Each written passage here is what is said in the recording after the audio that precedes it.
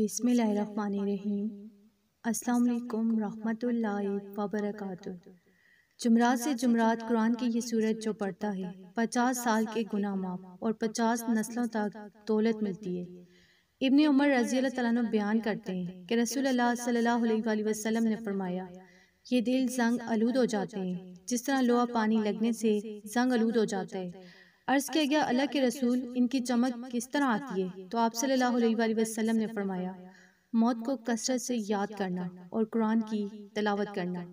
اسی طرح عثمان بن عبداللہ بن اوس سکتی اپنے دادا سے روایت کرتے ہیں۔ انہوں نے کہا کہ رسول اللہ صلی اللہ علیہ وآلہ وسلم نے فرمایا، آدمی کا زبانی قرآن پڑھنا ہزار درجے رکھتا ہے، جبکہ اس کا قرآن کریم سے دیکھ کر پڑھنا، زبانی پڑھنے سے دو ہزار درجے رکھتا ہے۔ تو ناظرین یہ قرآن کی وہ صورت ہے جس کے بارے میں نبی پاک صلی اللہ علیہ وآلہ وسلم نے فرمایا۔ جو اس صورت کی تلاوت کرے گا اس کے پچاس سال کے گناہ معاف اور اللہ اپنی دولت کے بند خزانے جو ہیں اس بندے کے لیے کھول دے گا۔ اللہ قیامت تک اس کی نسلوں کی نسلوں کو غیب سے کھلائے گا پلائے گا۔ سعید بن مصیب رضی اللہ تعالیٰ نبی صلی اللہ علیہ وآلہ وسلم سے روایت کرتے ہیں۔ آپ صلی اللہ علیہ وآلہ وسلم نے فرمایا کہ جو شخص دس مرتبہ یہ صورت پڑھتا ہے تو اس کے بدلے میں اس کے لیے جنت میں ایک محل بنا دیا جاتا ہے۔ جو شخص بیس مرتبہ پڑھتا ہے تو اس کے لیے جنت میں دو محل بنا دیے جاتے ہیں۔ اور جو شخص تیس مرتبہ پڑھتا ہے تو اس کے لیے تین محل جو ہیں جنت میں بنا دیے جاتے ہیں۔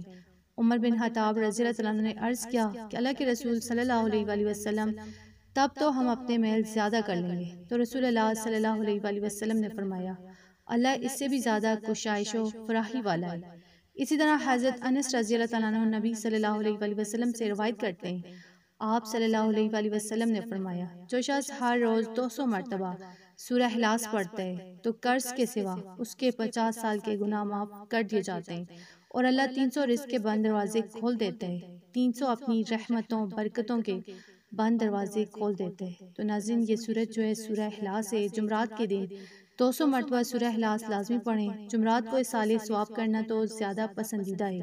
حدیث مبارکہ سے یہ ثابت ہے کہ مرنے والوں کی روحیں جمرات کو اپنے گھروں میں آتی ہیں اور اپنے عزیزوں کو پکار پکار کر صدقہ اور دعا کے لیے فریاد کرتی ہیں۔ تو جو بندہ دو سو مرتبہ جمرات کے دن سورہ احلاس پڑھ کر تمام مسلمانوں کے ارواح کو ہدیہ کرے گا یا اپنے گھر آئیے اپنے رشتہ داروں کی ماں باپ کی روحوں کو ہدیہ کرے گا۔ تو اللہ اس کے اس عمل کے صدقے نہ صرف اس کے گناہوں کو معاف کرے گا، بلکہ اپنے اس بندے کو غیب سے کھلائے گا، غیب سے پلائے گا۔ جب وہ اس دنیا سے رخصت ہوگا تو وہ قبر کے عذاب سے، منکر نکیر کے سوالات سے بچ جائے گا، انشاءاللہ۔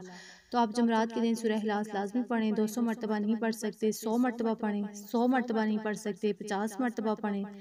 اگر پچاس مرتبہ بھی نہیں پڑھ سکتے تو صرف دس مرتبہ لازمی پڑھیں۔ اولا درود پاک لازمی پڑھیں اور انہیں مارے ہوئے لوگوں کو ہدیہ کریں، انشاءاللہ۔ آپ کے دل کی مرادیں پوری ہوں گی، اللہ آپ کی نسلوں کی نسلوں کو رنگ دے گا۔ اگر آپ کو ویڈیو اچھی لگی، اسے آپ نے لائک کرنا ہے، شیئر کرنا ہے اور چینل کو سبسکرائب کرنا ہے۔ جزاک اللہ۔